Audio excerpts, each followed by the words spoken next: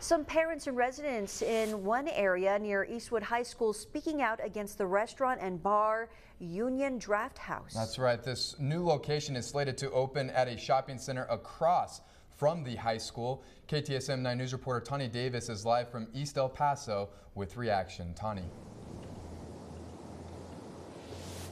Andy and Natasha, we just want to put into perspective how close this Union Draft House will be once open. You have Eastwood High School right behind me over here, and then you have the development area right across the street, which is what is most concerning to the parents. However, one resident that I spoke with said she actually wants more businesses to be brought into the area.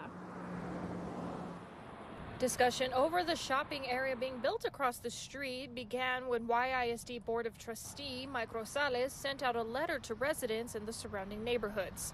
In the letter, it was telling them that a union draft house was potentially going to occupy the space. He explains that he wanted parents and others in the community to be fully aware of the situation before taking any action.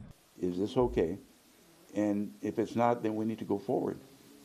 Because I'm not going to be against anybody that's for it, but I think the nature of the business requires that we make people aware. With a busy intersection such as this one, one parent's concern is a restaurant that also serves alcohol across the street of Eastwood High School. There's going to be more congestion because Eastwood High School is very busy.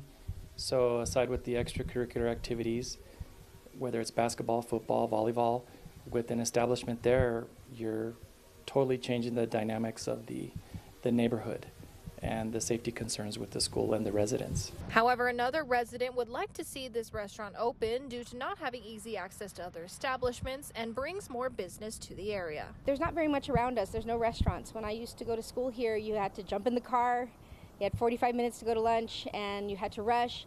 And so having a shopping center nearby with restaurants, you know, bar and grills, coffee shops, it's going to give us the opportunity to stay close to home and it just makes it very convenient.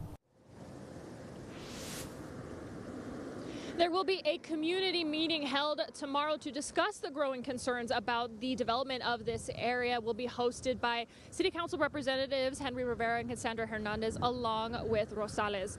Reporting live from East El Paso, Tani Davis, KTSM 9 News. Tani, thank you. We have an update to a story we brought to you at 5 after the family of El Paso legend